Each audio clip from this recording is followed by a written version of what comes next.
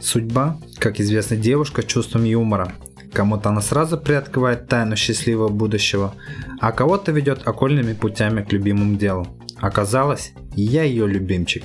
Ведь к моменту окончания Чекмагушевской средней школы номер один я абсолютно точно знал, куда пойду учиться и кем буду.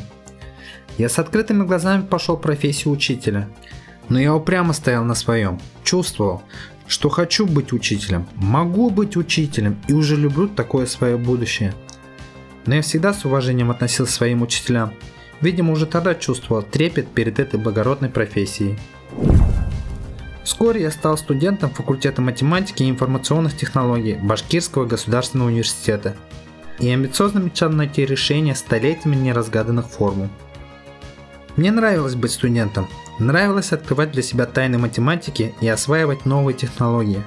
Ну, очень хотел школу, проводить настоящие уроки, общаться с ребятами. И вот я сегодня учитель математики гимназии села Чекмагуш. Совсем еще зеленый, но с огромным желанием работать. А главное, с огромным желанием учиться. Но придя в школу, понял, что практических навыков придется набирать самостоятельно – уже сейчас я знаю, что для моих пятиклассников все содержание школьной программы просто информация. Пока они будут получать готовые ответы на свои, даже зачастую незаданные вопросы, они будут приобретать знания. Но есть ли в этом смысл?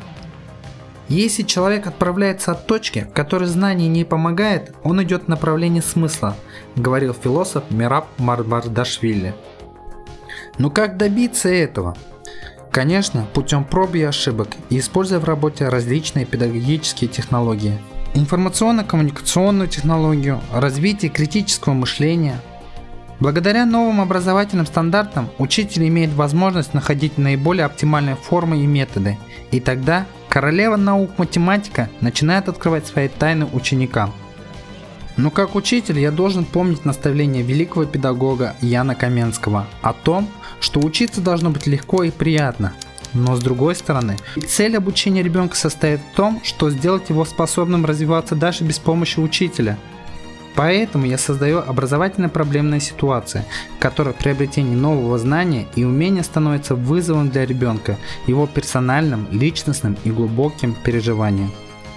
Мне кажется, что я иду правильной дорогой. Мои ученики – соавторы моих уроков – я уверен, что им интересно со мной, им интересна математика. Год работы в школе – это так мало, но в то же время так много. У нас уже есть определенные успехи, которые в будущем будут делать намного больше. За время работы ребята меня приняли, но чтобы стать для них настоящим авторитетом, мне придется с ними съесть не один пуд соли, многому научиться. Именно тогда я стану учителем с большой буквы.